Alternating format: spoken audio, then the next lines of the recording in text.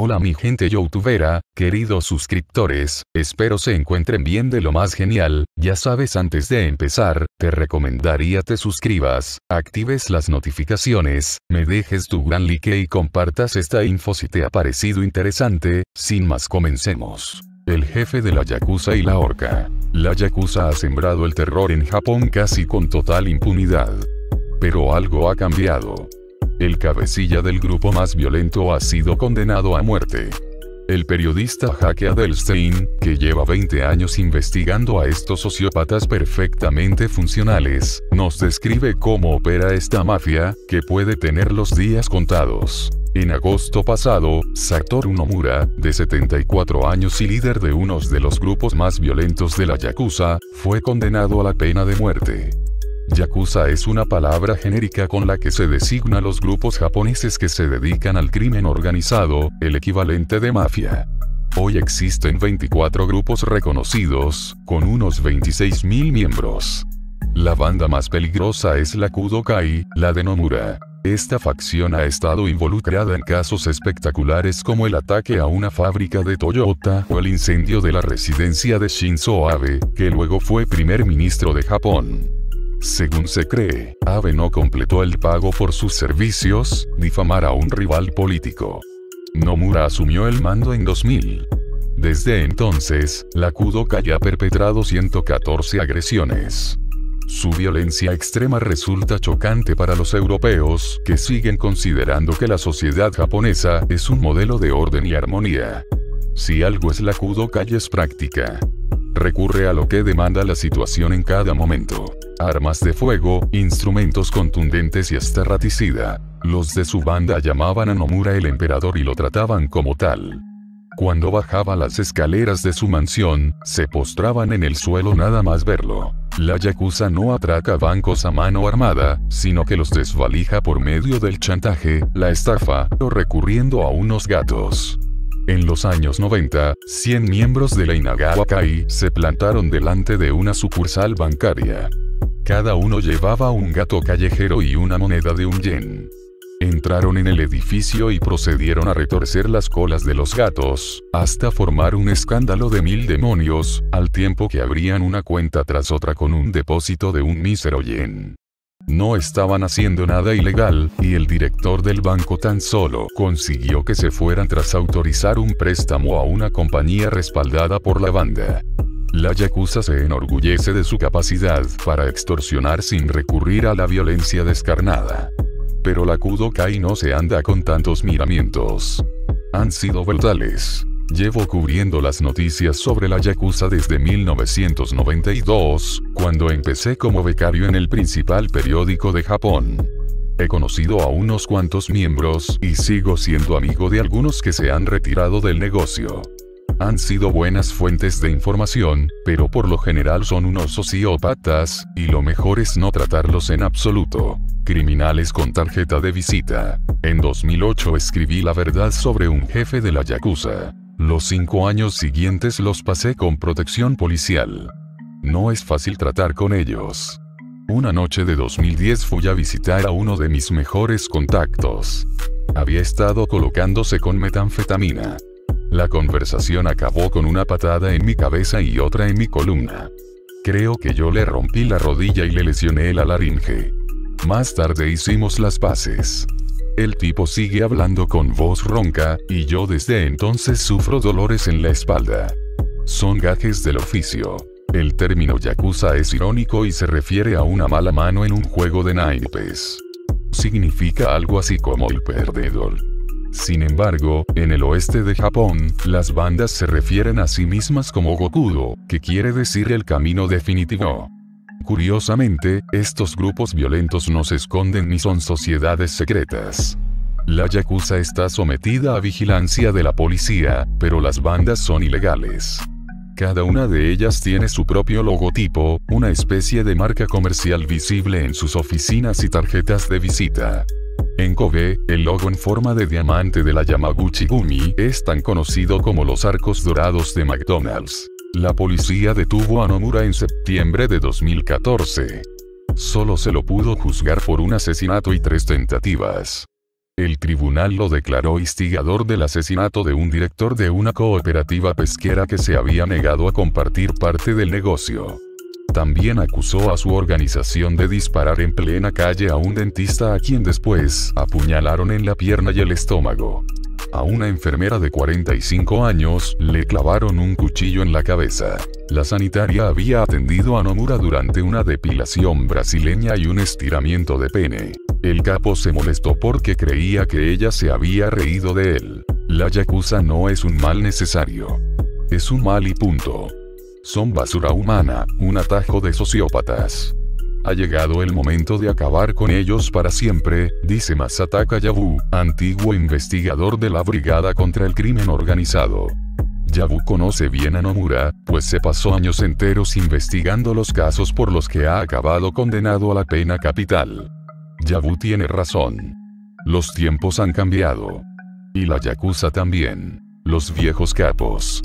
Muchos japoneses dicen extrañar la yakuza de antes, la de los buenos tiempos. Es una expresión engañosa, pero es cierto que antes no se metían con la ciudadanía general. De hecho, ellos se ufanaban de proteger a los débiles.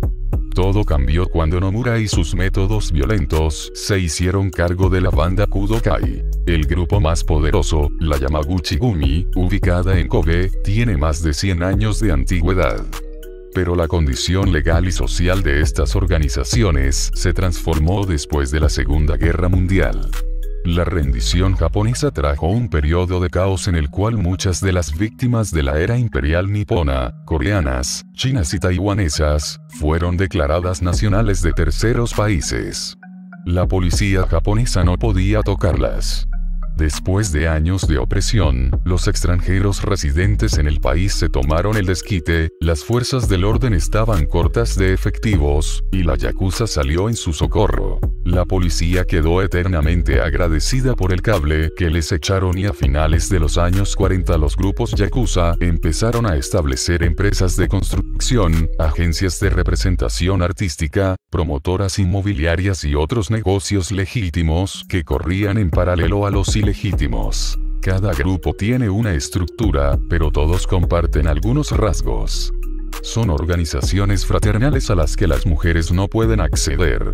El nuevo miembro jura lealtad a lo un figura patriarcal o padrino, al mando. Todo el mundo puede unirse al grupo, si está dotado de pene, claro, y todos pueden acceder a lo más alto. Muchos de los yakuzas son de origen coreano o pertenecen a otras clases tradicionalmente discriminadas. La mayoría de los grupos eran, y siguen siendo, meritocracias.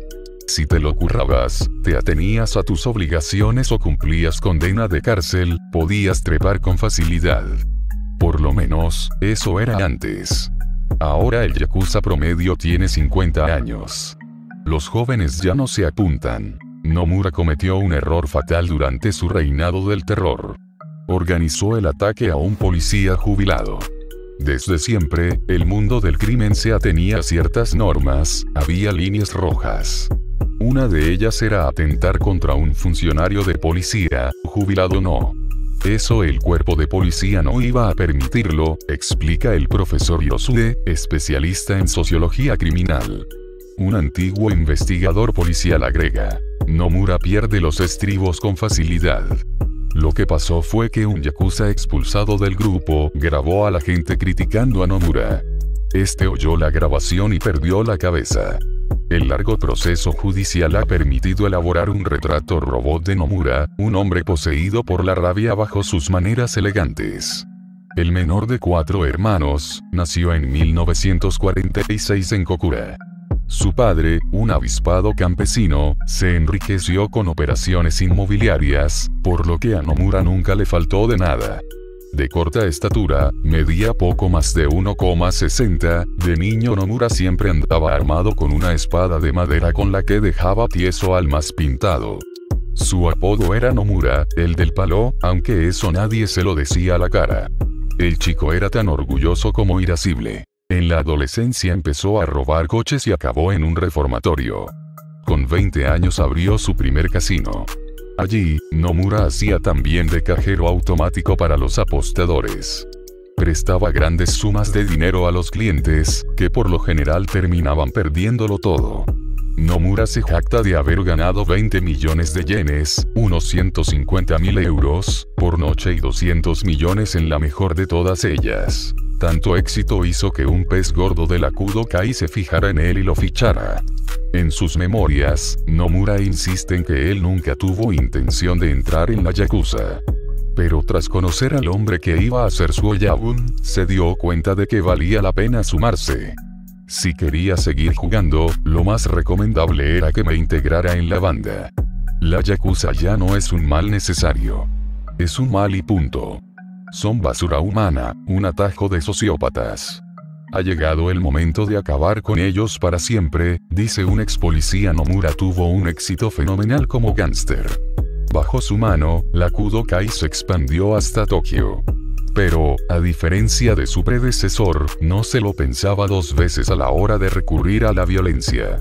En muchos sentidos, Nomura se asemejaba a Tadamasa Goto, el temido cabecilla de la Yamaguchi Gumi, que disfrutaba de la violencia con sadismo, contaba con más de 100 millones de dólares, y llegó a ser el principal accionista de Japan Airlines. Nomura también era muy rico. Los de su banda lo llamaban el emperador y lo trataban como a tal. Por las mañanas, cuando bajaba por las escaleras de su mansión, los gánsteres se postraban en el suelo nada más verlo. Sus matones lo escoltaban al campo de golf por las tardes y a los clubes nocturnos por las noches. Le encantaba dejar generosas propinas y tampoco reparaba en gastos a la hora de sufragar los excesos consumistas de su mujer, numerosas exesposas y un pequeño ejército de críos. Los últimos de su especie. A los yakuzas no les gusta que les hagan fotos. El australiano Jesse Lizotte es de los pocos que han documentado a miembros de estas bandas. Me pareció importante retratar a estos personajes porque su forma de vida está a punto de desaparecer.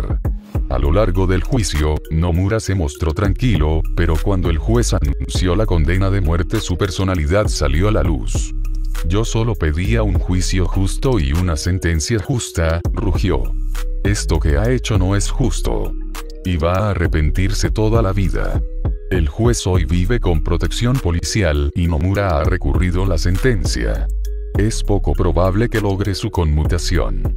Si no lo consigue, lo ahorcarán. Aunque vaya recurriendo la pena durante unos cuantos años no podrá hacerlo para siempre. Además, la opinión pública japonesa es mayoritariamente partidaria de la pena de muerte y detesta a Nomura. Pero el quid de la cuestión es otro. Morirá con Nomura la organización que dirigió durante casi 20 años. Actualmente, detienen al jefe de los Yakuza después de que sus tatuajes se hicieran virales en Facebook y Twitter. Aquellos que llevan un tatuaje en el cuerpo tienen una marca personal que les suele acompañar de por vida. Normalmente, esto no tiene nada de malo. Sin embargo, si eres el legendario jefe de los Yakuza, y tus tatuajes se viralizan en las redes sociales, estás perdido. La policía acaba de detenerlo en Tailandia. Se trata de Shigeru Shirai, de 72 años. Aunque se cree que ya retirado, sobre él pesaban una orden de arresto de la policía japonesa por su presunto rol en el asesinato de un miembro de una banda rival en 2003. Tras este evento, las autoridades creen que huyó a Tailandia, espacio donde se casó con una mujer local y se sumió en un retiro aparentemente pacífico. Así ha sido hasta ahora, cuando alguien publicó en Facebook las fotos del jubilado jugando a las damas en una calle con sus reconocibles tatuajes de los Yakuza y un meñique desaparecido, los miembros de la banda criminal a menudo se cortan la yema del dedo para expiar una ofensa. Rápidamente, las imágenes se hicieron virales y se compartieron más de 10.000 veces, llamando la atención de la policía japonesa, quien alertó a las autoridades tailandesas. Lo curioso con la banda es que fueron tolerados como un mal necesario para mantener el orden en las calles. A diferencia de la mafia italiana o las triadas chinas, los yakuza no son ilegales y cada grupo tiene su propia sede, a veces a la vista de la policía. Sea como fuere, Shirai estaba acusado de matar a tiros al jefe de una facción rival, por lo que siete miembros de su pandilla fueron encarcelados entre 12 y 17 años.